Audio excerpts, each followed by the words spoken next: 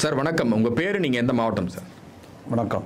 நான் திருநெல்வேலி புறநகர் மாவட்ட கழக செயலாளர் விஜி வேலாயுதம். என்னுடைய ஊர் வந்து ராதாபுரம் சட்டமன்ற தொகுதியில் வள்ளியூர் வள்ளியூர் பேரூராட்சி மன்றத்துக்கு உட்பட்ட வள்ளியூரில் நான் இருக்கேன். இப்போ வந்து என்னுடைய புறநகர் மாவட்டத்தில் வந்து மூன்று சட்டமன்றங்கள் உட்பட்ட மாவட்டம். அதில் வந்து முதலாவதாக ராதாபுரம் சட்டமன்ற தொகுதியும் இரண்டாவதாக நாங்குநேரி சட்டமன்ற தொகுதியும் மூன்றாவதாக அம்பாசமுத்திரம் சட்டமன்ற தொகுதியும் உள்ளடக்கியது என்னுடைய புறநகர் மாவட்டம். இந்த மாவட்டத்தை பொறுத்தவரையில் அதிகமான மீனவ கிராமங்கள் உள்ளடக்கிய எங்களுடைய பகுதி. இங்கே வந்து மீனவருடைய பிரச்சனைகள் வந்து தினமும் பல்வேறு விதமான இன்னல்களை அவங்க போராடி தன்னுடைய வாழ்வாதாரத்தை பெருக்கிட்டு வராங்க. அதில் முதல் கட்டமாக வந்து தூண்டில் வளைவு வேணும் வேணும்னு சொல்லி எப்போதும் எந்த ஆட்சி வந்தாலும் அவங்க அந்த தூண்டில் வளைவு சம்பந்தமாக கோரிக்கைகளை வைக்காங்க. அவங்களுக்கு அந்த தூண்டில் வளைவு மற்றும் பக்கத்து நாடுகள் போய் அந்த மீன்பிடி தொழிலுக்கு போகும்போது பக்கத்து மாநிலங்களிலிருந்து அவங்களுடைய பிரச்சனைகள் நிறைய வருது. இதையும் கோ- அரசாங்கத்திற்கு அவங்க அப்பப்போ தெரிவிச்சிட்ருக்காங்க நாங்களும் அவங்களுக்காக போராடிட்டு இருக்கோம். அதே போல் தேயிலை தோட்டம் அம்பாசமுத்திரம் சட்டமன்ற தொகுதிக்கு உட்பட்ட மாஞ்சோலை. அந்த தோட்ட தொழிலாளர்கள் வந்து சுமார் நூ நூறு நூற்றம்பது வருடமாக அந்த பகுதியில் தோட்ட தொழிலாளராக இருந்து தேயிலை பறித்து அந்த இடத்துல குடியிருந்து வந்துட்டு இருந்தாங்க. அவங்களுடைய தோட்ட தொழிலாளர் வந்து Bombay trading company Burma Bombay trading கம்பெனிங்கிற company மூலம் அந்த தோ தோட்ட தொழிலாளர் வந்து அங்கே இவ்வளோ நாளாக வேலை பார்த்துட்டு இருந்தாங்க. இவங்கள வந்து அந்த லீஸு காலம் நூறு வருட லீஸு காலம் வந்து ரெண்டாயிரத்தி இருபத்தெட்டில் முடியுது. முடியதுக்கு இருக்க தருவாயில் இப்போ அங்கே வேலை பார்த்துட்டு இருந்த ரெண்டாயிரம் குடும்பத்தை வந்து உடனடியாக காலி பண்ண சொல்கிறாங்க காலி பண்ணோன்னா அவங்க வாழ்வாதாரம் என்ன செய்வாங்கன்னு அவங்களுக்கு கேள்விக்குறியாக இருக்குது இதை வந்து அனைத்து கட்சி சார்பாக கூட்டங்களை கூட்டி தமிழக அரசுக்கும் தமிழக முதல்வருக்கும் வந்து நாங்கள் கோரிக்கையாக வச்சுருக்கோம். என்னென்னா அந்த ரெண்டாயிரம் குடும்பத்திற்கும் மறுவாழ்வு கொடுக்கணும்.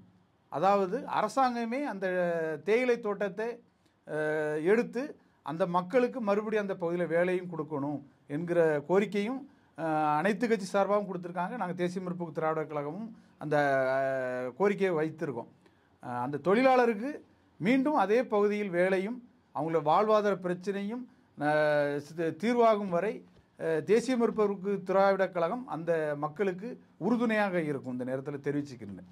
சார் உங்கள் தொகுதியை பொறுத்த வரைக்கும் திமுகவினுடைய செயல்பாடு எப்படி இருக்குது சார்? திமுகவுடைய செயல்பாடு என்னன்னு சொல்ல போனால் அன்றாட மக்களுடைய நியாயமான கோரிக்கைகள் வந்து அரசாங்கத்தில் நாங்கள் எத்தனையோ கோரிக்கை வைத்தாலும் சரியான முறையில் அதுக்கு தீர்வு கிடைக்க மாட்டேங்குது. பொதுவாக எடுத்துக்கிட்டால் நியாய விலை கடைகள் அதாவது ரேஷன் கடைகளில். இப்போ கடந்த மூணு மாதமான காலமாக பருப்பு பாமாயில் இந்த அத்தியாவசிய பொருட்கள் வந்து மிகவும் தட்டுப்பாடாக போகுது. இப்போ நிறைய கடைகள் இல்லைன்னே சொல்கிறாங்க மூணு மாத காலமாக பாமாயிலாம் இல்லை பருப்பு இல்லை கோதுமை இல்லை இல்லைன்னு சொல்லிட்டு இருக்காங்க. இந்த இதை வந்து மக்களுடைய கோரிக்கையாக நாங்கள் அரசுக்கு இதன் மூலம் தெரிவிச்சுக்கிடுதோம் உடனடியாக அந்த நியாய விலை கடைகளில் அவங்களுக்கு தேவையான அரிசி பருப்பு பாமாயில் மண்ணெண்ணெய் இதை வந்து உறுதியாக கொடுக்கணும். கொடுக்காத பட்சத்தில் மக்களுக்காக தேசிய முற்போக்கு திராவிடம் அந்த இடத்துல வந்து போராட்ட களத்துக்கும் நாங்கள் செல்ல தயாராக இருக்கணும்னு இந்த நேரத்தை தெரிவிச்சுக்கிறது. ஆளுங்கட்சியான திமுக கட்டுப்பாட்டில் இருக்கக்கூடிய காவல்துறையின் செயல்பாடு எப்படி இருக்குது உங்கள் தொகுதியில்? காவல்துறையை பொறுத்தவரையில் அரசாங்கம் முதலமைச்சர் கீழே தான் காவல்துறை வருது. அதனால் அரசாங்கம் வந்து அந்த காவல்துறையை நியாயமான முறையிலும் பொதுமக்கள் நண்பர்கள் நண்பனாக தான் அந்த காவல்துறை இன்றைக்கும் பொதுமக்கள் பார்க்காங்க.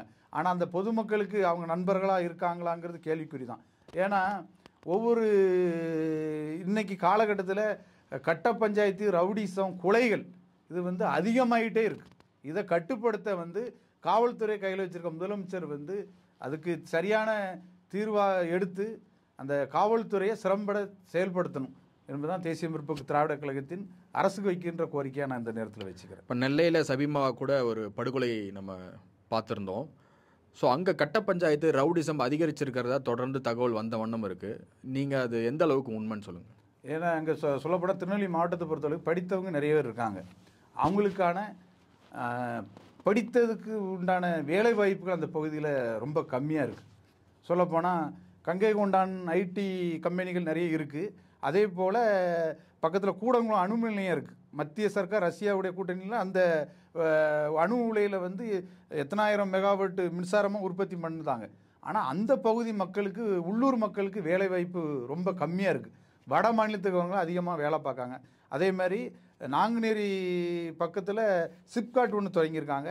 அதில் வந்து நிறைய கம்பெனிகள் கொண்டு வந்து படித்த இளைஞர்களுக்கு வேலைவாய்ப்பை உருவாக்கி கொடுத்தோம்னா இந்த ஓரளவுக்கு படித்தவங்க அந்தந்த வேலையை பார்த்து போயிட்டு இருப்பாங்க வேலை இல்லாததுனால அவங்க கட்ட பஞ்சாயத்துலேயும் ரவுடிசத்துலையும் இறங்கி நம்மளும் இந்த சமுதாயத்தில் வளரணும்னா ரவுடியாக தான் மாறணுங்கிற ரீதிக்கு ம அப்படி போக போய் தான் இந்த கொலை கொள்ளை கற்பழிப்பு இந்த மாதிரி இது அந்த பகுதியில் கொஞ்சம் அதிகமாக இருக்குது அதை வந்து காவல்துறை வந்து யார் யார் குற்றவாளிகள் என்னென்ன செய்கிறாங்கன்னு கணக்கெடுத்து அவங்கள முறைப்படுத்தினா அந்த சட்ட ஒழுங்கு பிரச்சனை நல்ல மாதிரி போகும். ஓகே. இப்போ நெல்லையை பொறுத்த வரைக்கும் இந்த டாஸ்மாக் ஒயின் ஷாப் வந்து டுவெண்ட்டி ஃபோர் பார் செவன் அதாவது இருபத்தி நாலு மணி நேரமும் இயங்குறதா ஒரு மற்றொரு குற்றச்சாட்டு பார்க்க முடியுது. அது எந்த அளவுக்கு உண்மை? ஒரு சில இடங்களில் இன்றைக்கி நடக்க தான் செய்யுது. ஏன்னா காவல்துறை வந்து நியாயமாக இருந்தால் இந்த மாதிரி தப்பு தண்டாக்கள்லாம் நடக்குது வாய்ப்பு கம்மி. ஏன்னா காலையில் பன்னிரெண்டு மணிக்கு டாஸ்மாக் கடை திறக்க தான் சொல்லுதாங்க.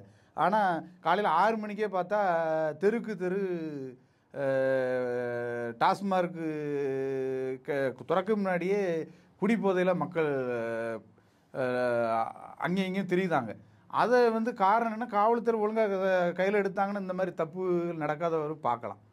தேசிய முற்போக்கு திராவிட கழகம் சார்பாக அடுத்து என்ன மாதிரியான நலத்திட்ட உதவிகள் என்ன மாதிரியான நடவடிக்கைகள் உங்கள் தொகுதியில் நீங்கள் எடுக்கிறதா இருக்கீங்க?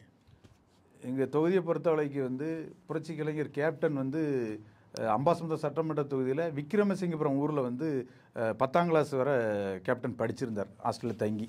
அதனால் அந்த பகுதியில் வந்து